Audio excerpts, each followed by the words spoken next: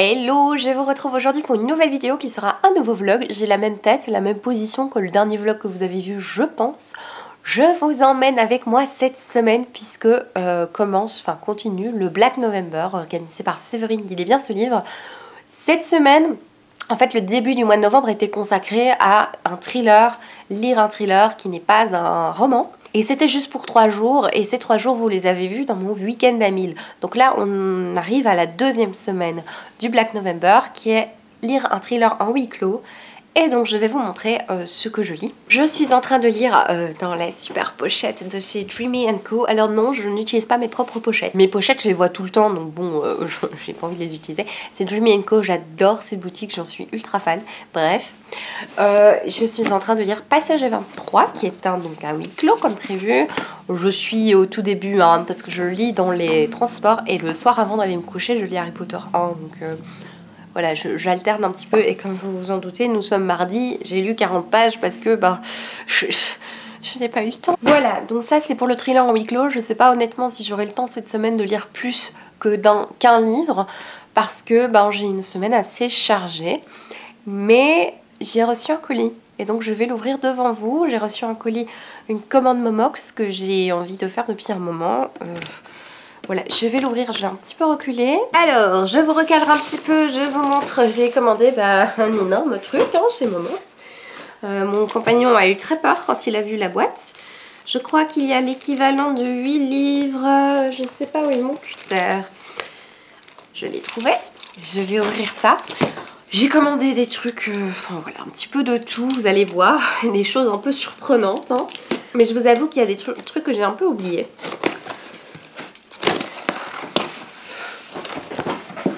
Alors, je vais essayer de pas regarder et de faire genre surprise parce que je, ne sais plus ce que j'ai commandé. Donc ça va faire comme un swap, c'est génial. Hop là, beaucoup d'emballage. Je, je ne regarde pas, je prends. Je sais qu'il y a 8 choses. Première chose. Oui, ah génial. Alors, euh, les femelles de Joyce Carol Oates, qui est un peu sale, hein, il un peu crado. Alors, il sent pas forcément la rose. Voilà. Alors pourquoi j'ai ce livre? Parce que euh, j'ai fait une vidéo que vous, êtes beaucoup à avoir regardé, je ne sais pas d'où vous venez, mais euh, voilà, vous êtes beaucoup à avoir regardé cette vidéo. Et en fait, euh, c'est une vidéo dans laquelle, pour Halloween, j'ai parlé des 7 livres qui m'ont le plus effrayé dans ma vie de lectrice. Et je vous ai demandé, vous, quels étaient vos livres effrayants? Et l'une d'entre vous m'a dit qu'elle avait lu Les femelles de Joyce Carol Oates et ça m'a énormément intriguée. Donc voilà, merci beaucoup pour la recommandation. Je l'ai commandé et c'est surtout euh, la poupée. Je pense qu'il a bien stressé. Une balade au Mississippi. Bien livre, je suis très contente. J'ai oublié moi ce que j'ai commandé hein, il y a une semaine, mais euh, j'ai déjà oublié. Alors, c'est quoi ça? Oh oui Pas mal, on dirait qu'il y a vraiment du sang sur la couverture. C'est Les Innocents de Robert Pobby. C'est un livre que j'ai découvert. Alors je sais plus, je crois que c'est dans une des vieilles vidéos de Séverine. Une histoire de pieds coupés, un truc glauque comme ça. Oh, ça, me tente bien. Les pieds coupés, ça me tente bien, oui. Hein. On voit bien le problème qu'il y a dans ma tête. Donc je suis super contente pour ce livre parce que j'ai oublié. Donc qu'est-ce que j'ai encore? Un troisième livre de poche. Louise May les ravagés, je pense que c'est encore Séverine hein, qui en a parlé. Elle disait que le sujet abordé était absolument génial. Je crois que c'est un peu féministe comme livre. J'ai jamais lu le livre de Louise May. Je pense que je vais en lire un. Bah, si je termine Passage 23, je risque de lire En brun de Louise May. Donc peut-être pas celui-là puisque c'est pas un huis clos, mais euh, ouais, il me tente bien. Ça va, l'état franchement c'est pas mal. J'ai pas payé grand chose hein, pour ces 8 livres, je vous rassure, puisque c'est Momox et les frais de port sont gratuits pour la Belgique désormais, c'est génial. Alors oui, celui-là, je me souvenais que j'avais acheté euh, L'île des chasseurs d'oiseaux de Peter May. Euh, ça fait longtemps aussi qu'il est dans ma wishlist. J'ai une amie qui, qui me l'a conseillé en fait, en plus euh, de Sèvres hein, forcément. Et euh, ouais, ça fait très longtemps qu'il est dans ma wishlist. Je suis super contente. Et il y a encore 4 livres et une partition, je pense. Alors, un grand livre, qu'est-ce que c'est? Oh, Il est magnifique. Ah, trop bien. Alors, c'est un livre euh, qui est sorti euh, il y a longtemps. Et euh, je voulais l'acheter, je voyais pas forcément des bonnes critiques. Et puis là, dernièrement, Aux alentours d'Halloween, j'ai quand même eu envie de le lire. Et euh, ouais, et en plus, euh, Céline, tu l'as bien aimé. Donc, euh, c'est The Wicked Deep, la malédiction des Swan Sisters. Et il est quand même en bon état. Je sais plus dans quel état je l'ai commandé, mais je le trouve très beau. Oh, vraiment, il est beau quoi. Il ferait une belle photo Instagram. Je l'ai pas commandé que pour ça, hein, honnêtement. Mais oh, franchement, il sent encore le neuf. Je pense pas que je l'ai acheté si cher que ça. Enfin, quoique, quand même, peut-être comme peut-être 14-15 euros. Je sais pas, je crois que c'est le livre le plus cher de, ce que j'ai commandé. Ah, c'est un grand format, mais bien gros. Qu'est-ce que c'est? J'aime bien deviner, mais... Euh, ah, mais je pensais que ce serait un livre de poche, moi Bon, bah voilà, j'ai Avec tes yeux de Sir Cédric. C'est également quelqu'un euh, sous ma vidéo euh, Les livres qui l'ont fait peur qui m'a conseillé celui-là et j'ai très envie de le découvrir. Bon, il n'est pas en super état. Je pensais que c'était un poche parce que je crois qu'il coûtait 3 euros, un truc comme ça, donc rien du tout. Mais pourquoi pas? Bon, bah, Par contre, pour le prendre avec pour aller travailler, ça va être compliqué parce qu'il est un peu lourd. ah oui, je crois que c'est un Gentelet, Darling. Je sais plus qui a parlé de ce livre. Euh, bon, la couverture ne me fait pas envie. Hein. Et il paraît que c'est très crade. La fille, euh, c'est la seule chose qu'elle a retenue. Je sais plus qui en a parlé. Sur YouTube, il y a quelqu'un qui en a parlé, mais je sais plus qui. Oh, trop bien Trop trop bien, j'avais oublié. C'est Noël, moi. C'est moi qui ai payé, mais euh, c'est Noël quand même. Alors, c'est la huitième couleur, les annales du disque monde. En plus, je ne l'ai pas payé très cher. Par contre, euh, je pensais que c'était une énorme pavasse, mais pas du tout quoi. Donc en fait, c'est publié chez La Talente, c'est Terry Pratchett. J'ai jamais, jamais, jamais tenté l'auteur. Ce sera une grande première. Et euh, je crois que c'est le premier, la huitième couleur, les annales du disque monde. J'ai vraiment hâte de découvrir. La, couverture est quand même magnifique. Je n'ai pas acheté que pour sa couverture, mais c'est vrai que la couverture poche est quand même archi moche. Et ici, franchement, euh, il est bien quoi. Il est très beau et la Talente édition, c'est une édition que j'aime assez bien. Et le dernier truc que j'ai, c'est une partition pour mes élèves.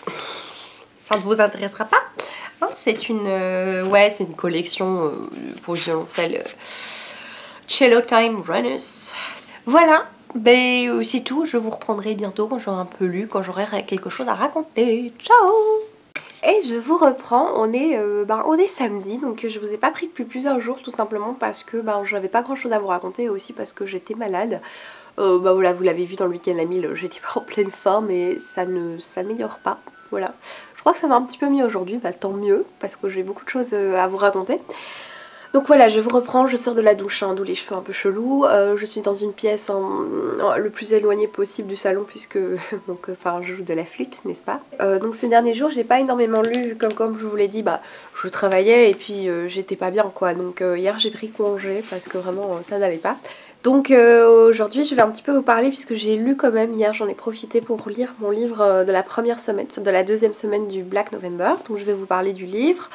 Donc en fait j'ai lu euh, Passager 23 pour le Black November vu que la deuxième semaine la consigne c'était de lire un roman qui est un huis clos et euh, je suis contente, j'ai déjà validé euh, ma consigne. Et voilà, j'ai hum, assez bien aimé ce livre. Et euh, ce que j'ai fait hier, c'est qu'à un moment, il me restait 40 pages et je savais qu'on allait découvrir quelque chose parce qu'ils disent euh, fin de chapitre, euh, voilà, on découvre des trucs, on va savoir enfin. Et du coup, j'ai fait une pause, le, le truc hyper jouissif quand vous allez avoir une révélation. Au lieu de tourner directement la page, j'ai fait une pause, j'ai été chercher à manger et puis j'ai lu une heure plus tard c'était vraiment le pied en fait. C'était vraiment. et c'est marrant parce que je, replongeais dedans et mon compagnon euh, me parlait. Je fais, mais en fait, non, s'il te plaît, je suis en train de lire oh, les révélations du livre où tu me parleras après. Oui, je suis un monstre. On va suivre le personnage de Martin qui est flic et qui va recevoir un coup de fil de la part d'une vieille dame qui vit dans un bateau et cette vieille dame va lui demander de venir sur le bateau parce qu'il se passe des choses un peu étranges et surtout en rapport avec son fils puisque euh, on découvre plus ou moins dans l'histoire que son fils a disparu, on découvre euh, les circonstances, euh, je vous laisse découvrir. Et donc tout le huis clos est vraiment sur le bateau, il va se passer plein de choses. Sur ce bateau, euh, énormément de péripéties, pas mal de personnages. Vraiment, euh, au début j'aimais bien, et puis en fait le fait de lire de temps en temps 5 pages puis 10 pages c'était vraiment pas top, mais euh, tout d'un coup le fait d'avoir du temps pour lire et de tout déglinguer, de tout lire d'un coup, ça m'a vraiment fait du bien. Et ça convient vraiment bien à cette lecture en fait. Souvent les lectures en huis clos, les thrillers c'est quelque chose quand même d'assez chouette à lire d'un coup. Et c'est ce que j'ai fait, donc j'ai lu vraiment d'une traite toutes les trois quarts du roman. Et euh, franchement, j'ai passé un super moment. J'ai vraiment passé un super moment de lecture. J'ai été surprise à plusieurs reprises. Maintenant, euh, vraiment honnêtement, c'est un roman avec plein de révélations. Vraiment, euh, tu es souvent, on a souvent des révélations, c'est très chouette hein, pour ceux qui aiment le thriller. Maintenant, je me suis dit qu'il y en a peut-être un peu trop. Enfin, je suis un peu chiante avec ça, mais clairement l'histoire est pas hyper crédible, hein, faut le dire. Donc je m'étais pas mise dans l'esprit, je vais lire un truc hyper crédible parce que tout ce qui se passe dans le truc, euh, dans le bateau, euh, je dis non, ça peut pas se passer comme ça quoi. Donc euh, voilà, je savais que j'étais dans un thriller et que je devais pas forcément penser au, côté crédible. Mais c'est vrai que j'ai l'impression qu'il y avait deux personnages de trop dans, dans, toutes ces révélations, dans toute cette histoire en fait. Il y a deux personnages qui sont chouettes en soi, mais euh, je me dis, en fait, il aurait très bien pu, euh, Sébastien Fitzek, se passer de ses personnages et euh, se baser uniquement sur Martin. C'est clair que voilà, ça rajoute à l'histoire, ça rajoute une, accroche si on n'aime pas forcément Martin. Mais j'aimais bien ces personnages, mais à la fin, c'est vrai que je me disais que ça faisait un petit peu trop. Et du coup, c'est vrai qu'à la fin, t'as forcément plein de révélations, plus t'as de personnages, plus t'as de révélations. Et euh, c'était un petit peu trop, je trouvais, euh, sur la fin. Mais euh, sinon, j'ai passé un super moment, j'étais surprise à certains moments. Il y a des sujets abordés, je ne m'y attendais pas du tout. Donc franchement, c'est une vraie réussite. C'est juste que par moments, je me disais, tiens bon là c'est un petit peu trop. Honnêtement je pense pas lire d'autres huis clos cette semaine, j'en avais prévu d'autres hein, qui sont dans la petite pile que je devrais vous montrer après. Mais en fait l'histoire c'est que on m'a rappelé que je devais lire un livre pour bipolar et j'avais un peu oublié. C'est un livre que j'ai commencé, hein, qui était en cours de lecture, mais je l'avais mis sur le côté. Et en fait, on m'a dit Est-ce que tu l'as lu Machin? oh oui, c'est vrai, le livre pour bipolar. Donc je vais le reprendre. En plus, j'aimais bien le début. Donc euh, c'est le couple irréprochable à l'affaire Burke. J'aimais bien, donc euh, voilà, je peux très bien le reprendre. Et euh, sinon, bah, je lis toujours Harry Potter avant d'aller dormir. Du coup, ça avance très lentement parce que le soir, je suis toujours fatiguée. Euh, qu'est-ce que je voulais vous dire d'autre? Ah oui. Je vous ai jamais montré cette pièce dans un vlog parce que c'est une pièce qui est... Euh, bah, c'est la pièce, la pièce foutoir. Hein. Et en fait c'est une pièce où j'ai mis en quarantaine une plante qui est pleine de trips. Euh, je l'ai traitée, c'est la Diffenbachia. Pour ceux qui se demandent, je l'ai traitée plusieurs fois au savon noir. Je lui donne une douche.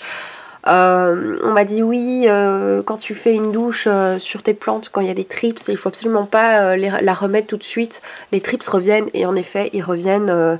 et j'en ai vu encore deux, quoi. Ça, m'énerve, ça prend du temps, ça fait plus d'un mois qu'elle est là. Et en plus, je me bats contre des trips dans mon salon en fait. J'en ai plein. disons que j'ai pas vraiment de plantes où il y en a un million, mais j'ai plein de plantes où il y en a deux ou trois quoi. Donc euh, je passe beaucoup de temps à nettoyer au savon les feuilles, euh, à mettre du savon noir, euh, à rincer, machin. C'est très saoulant. Les trips, franchement, c'est la plaie. Parfois je me dis mais ça sert à rien que j'ai autant de plantes, franchement si je dois tout le temps m'en occuper. Bon, aujourd'hui, enfin ce week-end, week-end assez chargé, aujourd'hui il y a le salon tourné la page et j'ai compris juste aujourd'hui le jeu de mots tourner la page. Voilà, je viens de comprendre le jeu de mots. Euh, donc tourner la page. Euh, c'est un salon donc sur deux jours, aujourd'hui et demain. Nous, avec Amélie et Camille, on sera là euh, à partir de 15h30, un truc comme ça. Je vais vous emmener bien sûr avec moi. Euh, j'ai hâte de voir ça. Et bien sûr, on va être interrogé pendant... Enfin, interrogé, j'ai l'impression d'être dans, un, dans, un, dans un commissariat de police. Non, pas du tout, mais on va être interviewé comme ça avec un petit public sur Booktube, toutes les trois. Et demain, en fait, je ne peux pas me reposer dimanche, mais c'est pas grave. Demain, il y a le spectacle, euh, ben voilà, un spectacle pour enfants. Euh, ça va durer euh, ben, toute la journée, hein, je pense, honnêtement. Enfin, le spectacle dure une heure, mais le temps d'arriver, de répéter une fois, je pense. Voilà, donc le spectacle qui, j'adore, j'adore faire ça. C'est juste que ça bouffe un petit peu beaucoup d'énergie. J'espère sincèrement que je vais aller mieux demain. Et lundi, j'ai congé puisqu'on est le 11 novembre. et donc j'ai congé, même si en principe le lundi, j'ai pas énormément de cours. Euh, profiter pour me reposer. Logiquement, je pourrais euh, coudre toutes les commandes qui sont un petit peu en retard, mais en fait, je pense que je vais juste me reposer. Je vais coudre mardi, mercredi, tant pis. Pour une fois, je vais privilégier ma santé, honnêtement.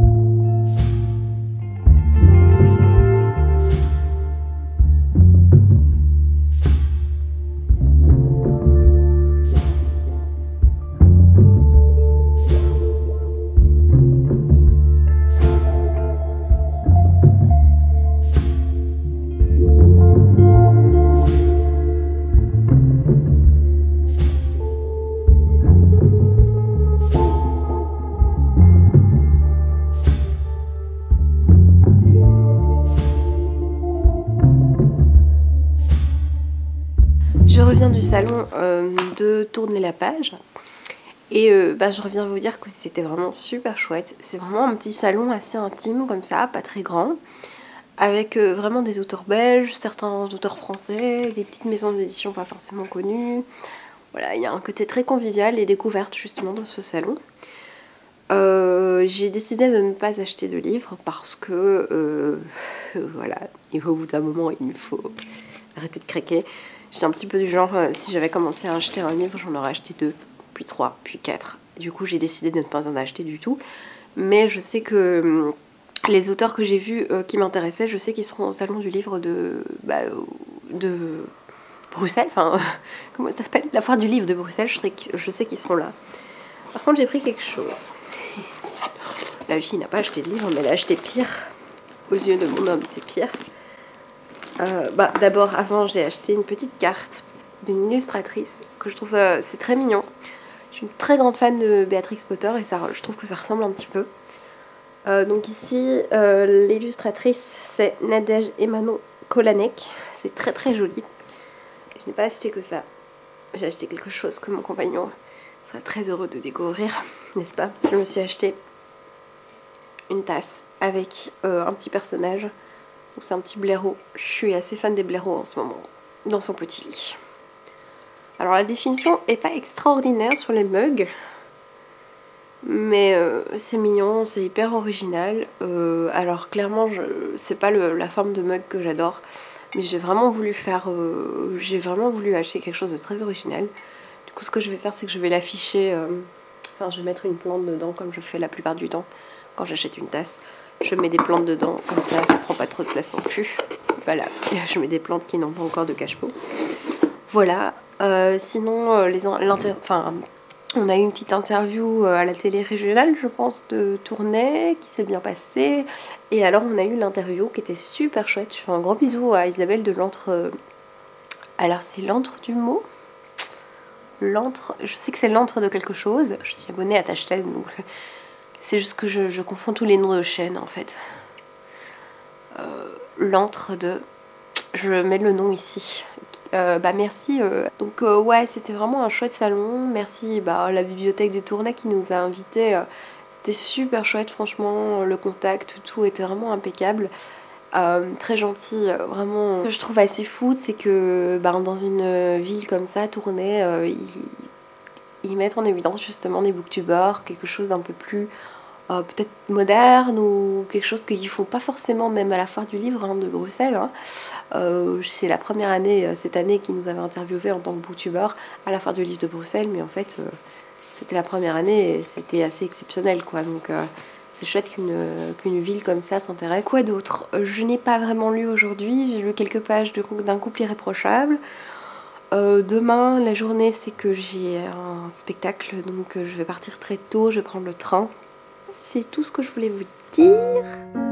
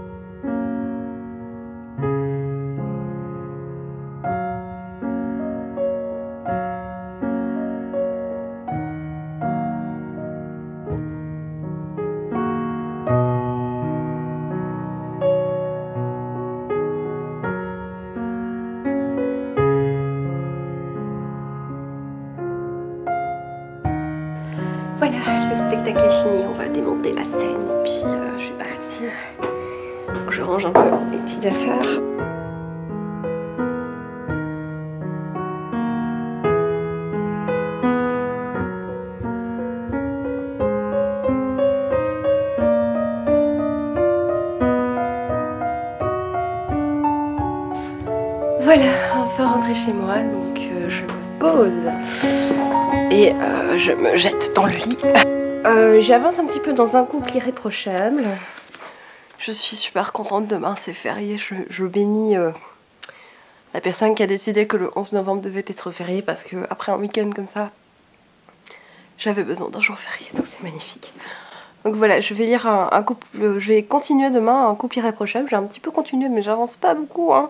c'est sympa pour le moment, donc on est vraiment sur l'histoire de ce couple un petit peu Mathieu. Enfin, le gars, franchement, je le supporte pas. Euh, c'est le genre de gars qui a l'air parfait. Je déteste la perfection, surtout euh, bah, dans un chez un protagoniste masculin dans un roman. Et euh, il a l'air parfait, sauf qu'un jour il va être accusé de, de harcèlement. Je sais qu'il y aura une question de viol plus tard, mais de harcèlement.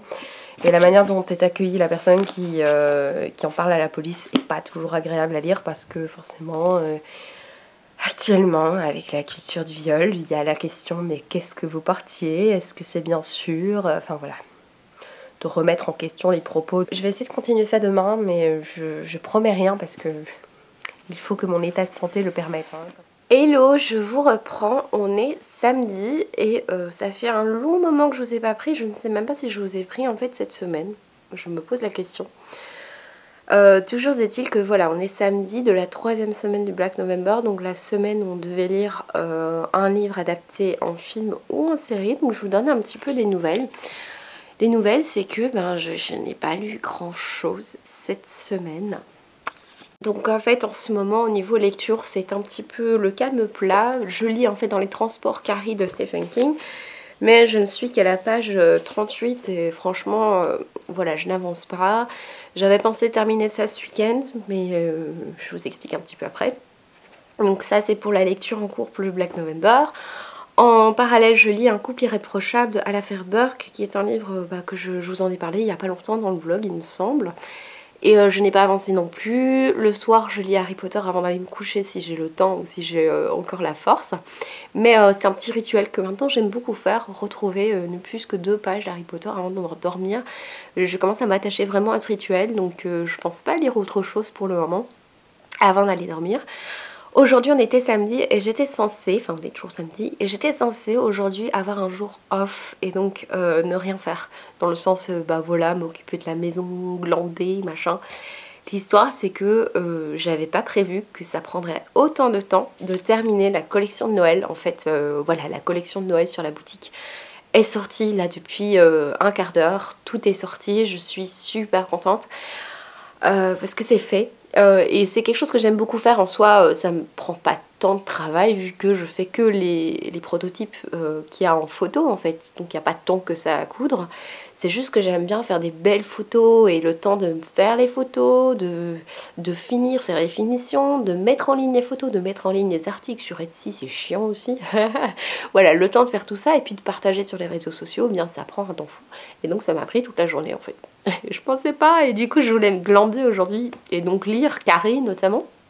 Demain, et alors quand vous voyez la vidéo ce sera euh, peut-être encore le cas, j'espère que je pourrai vous la publier à temps, il y a un concours sur le groupe Black November, donc de Séverine, puisque je vous fais gagner une trousse. Donc les trousses avec tirette, il y en a une que vous pouvez gagner sur le Black November. Elle sera encore en ligne si, vous, si jamais vous ratez, si jamais la date de publication du vlog est plus tard que le concours, la trousse du Black November existe sur la boutique. Je l'ai mise en ligne spéciale Thriller Addict.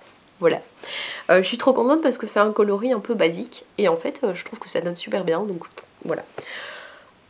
Assez parler business, hein. Euh, parlons lecture, et eh bien pour le moment j'aime bien hein, Carrie, c'est sympa.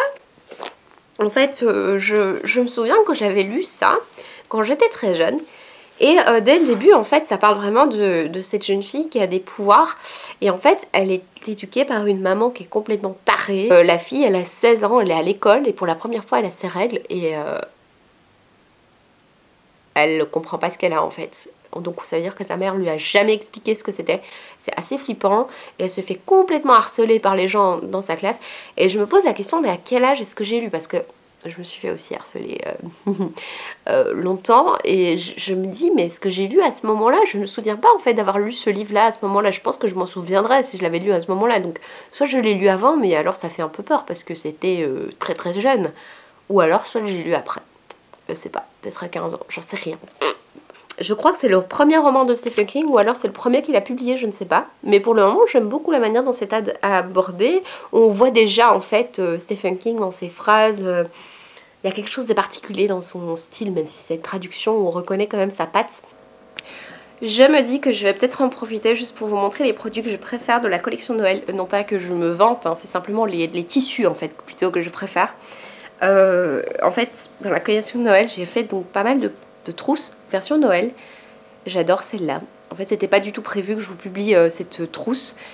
Euh, ce, tissu, mais je suis tombée dessus complètement par hasard dans une boutique et j'ai complètement craqué. J'ai voulu trop, trop, trop, trop vous la présenter parce que en fait, je ne présente que des choses que j'aime bien, donc c'est pour ça qu'il y a très peu de rose et de mauve dans, sur la boutique parce que je n'aime pas trop cette couleur, mais euh, et de bleu. Enfin, vous voyez, il y a beaucoup de de, vraiment de couleurs que j'aime quoi. J'aime particulièrement aussi ce tissu là et euh, il y a aussi celui-là, c'est version vraiment Noël. J'étais pas sûre de la sortir et puis euh, je vous ai demandé sur Instagram et vous m'avez dit que vous enfin il y a une majorité de gens qui aimaient bien euh, je crois 70% de gens quand même qui aimaient bien celle-là, donc je l'ai mise en ligne. Un des tissus que je préfère, c'est celui-là. J'en suis complètement amoureuse. Je n'ai pas fait beaucoup de produits avec ce tissu-là, tout simplement parce que c'est un tissu, bah, en toute honnêteté, très très cher. Vraiment, euh, j'en ai pas acheté beaucoup parce que ben, je, n'ai pas un million d'euros sur moi, n'est-ce pas? Donc euh, j'en ai pas acheté beaucoup et c'est vraiment selon la demande que je vais vite me réassortir, euh, faire un réassort. Mais je le trouve magnifique ici, c'est une manique. voilà, que j'ai faite un peu plus grande que celle que j'avais sortie en été. Et j'aime bien le produit en soi, celui-là c'est pour quelqu'un en fait. Je vais arrêter de le tripoter. Oh, quelle honte. Et alors, j'ai sorti des serviettes de Noël, des serviettes en tissu. Et donc je vous montre ce coloris là que j'aime beaucoup euh, qui vient d'Allemagne en fait. Et euh, j'aime beaucoup celui-là. C'est une serviette doublée hein. et euh, il y a aussi les petits écureuils qui sont pas très hivernaux mais j'aime bien quand même. Il y a quand même un, tissu rose parce que je me suis dit que ça plairait quand même avec des guirlandes machin de Noël. Et bah, la version ici It's Christmas je l'ai appelée je pense. Voilà. Voilà voilà pour les produits que je préfère euh, bah pour les coloris plutôt que je préfère pour Noël. Il y en a plein d'autres, hein, mais euh, ils sont sur la boutique, il suffit d'aller voir. Hello, je vous retrouve, on est dimanche soir et euh, en fait je vais doucement clôturer le vlog parce que bah, je me rends compte que le vlog a duré deux semaines en fait pour finir et que bah, de toute façon j'ai plus grand chose à vous raconter. J'ai un tout petit peu avancé dans Carrie mais vraiment vraiment très très peu je suis à la page 53. Donc voilà, merci d'avoir regardé cette vidéo jusqu'au bout.